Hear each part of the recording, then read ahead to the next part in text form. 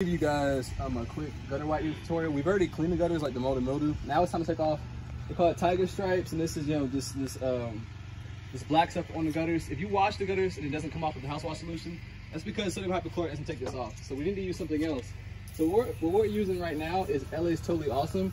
There's uh, other you know industry chemicals you can use, but I found that this stuff works pretty great. I'm getting ready to show you, you know, how much of a difference this stuff makes on the gutters. And normally gutter whitening is an upsell thing.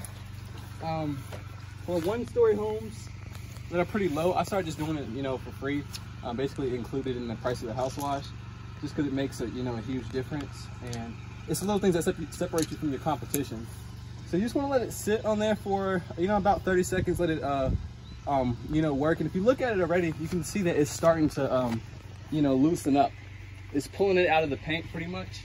And we can come through with the rinse. Sometimes you have to brush as well, but rinsing takes a lot of it off. Let's start off with a little rinse and see what happens.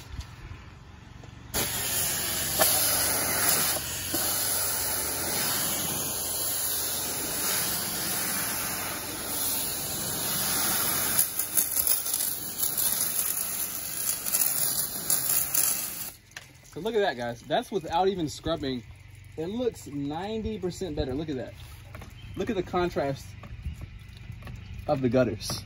Huge difference. So the rest of the stuff, I'm gonna just quickly brush it. I have different tools.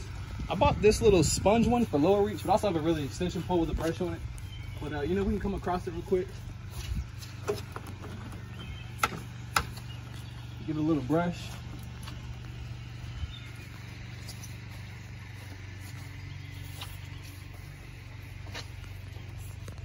Then a rinse again. And boom, guys, you have you have basically new looking gutters. So that's a little, if you guys didn't know how to do gutter whitening, that's it. LA's totally awesome. You can get from Dollar Tree, Family Dollar, maybe Walmart.